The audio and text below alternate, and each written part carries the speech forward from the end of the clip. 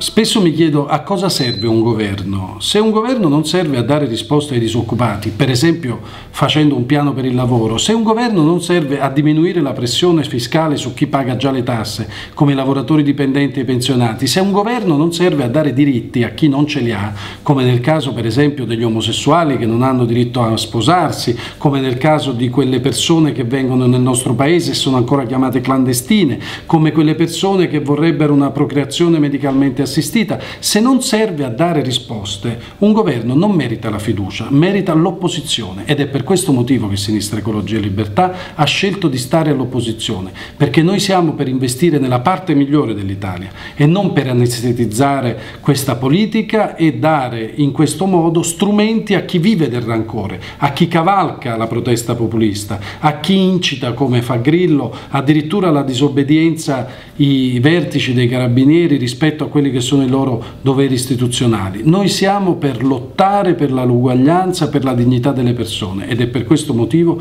che noi la fiducia ad un governicchio del genere non la daremo mai, lo diciamo anche a Letta, per quattro voti ad Alfano non si cambia in questo modo la prospettiva di un possibile miglioramento del nostro Paese, non si fa.